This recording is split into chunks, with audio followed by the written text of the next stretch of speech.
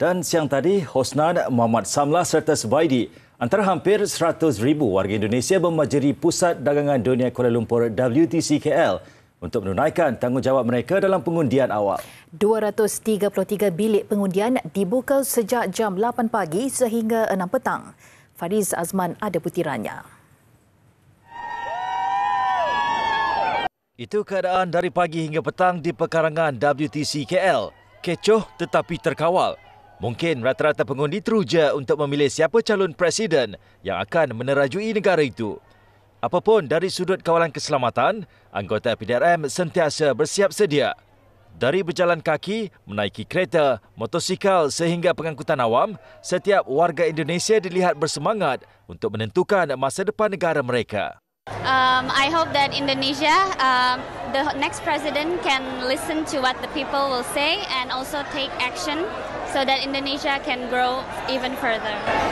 So as a youngsters, who's you going to choose? What kind of candidate you going to choose?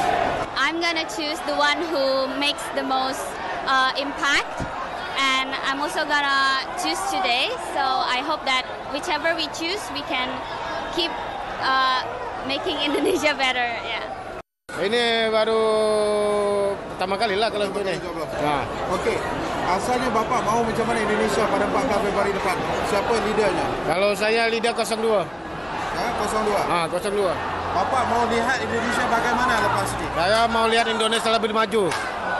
Lebih maju. Lebih maju dari ini, lebih maju untuk ke depan. Lebih maju ke depan. Kita tak mau lagi ketinggalan negara. Kita mau sih meninggal 02. Pilih 02, pilih 02. Meskipun jangkaan awal 40,000 warga Indonesia akan menunaikan tanggungjawab mereka, ternyata yang hadir jumlahnya luar biasa. Setiap pengundi meletakkan harapan tinggi kepada pentadbiran baru republik itu. Mereka ini kan ada di rantau, perantauan. Jadi hari pemilu, election itu buat mereka adalah hari berkumpul. E, membuktikan mereka adalah warga negara Indonesia. Bentuk kecintaan mereka kepada Indonesia dan bahwa mereka masih menjadi bagian dari Indonesia. Selain ini adalah reuni, berkumpul dengan teman, dengan uh, kenalan ya karena hari Minggu.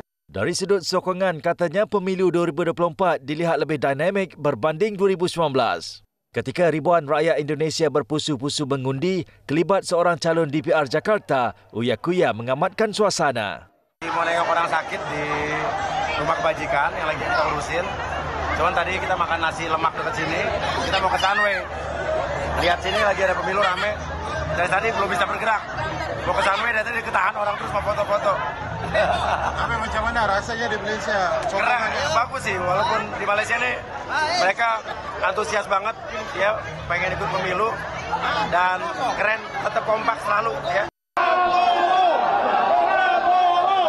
Ini keadaan di dalam KL sejak awal pagi tadi sehingga ke petang di mana menyaksikan Malaysia antara negara terbesar jumlah pendaftar pemilih dalam pemilu 2024 dan ini proses demokrasi ketiga terbesar di dunia untuk menyaksikan siapakah yang akan merajui pentadbiran negara Republik Indonesia.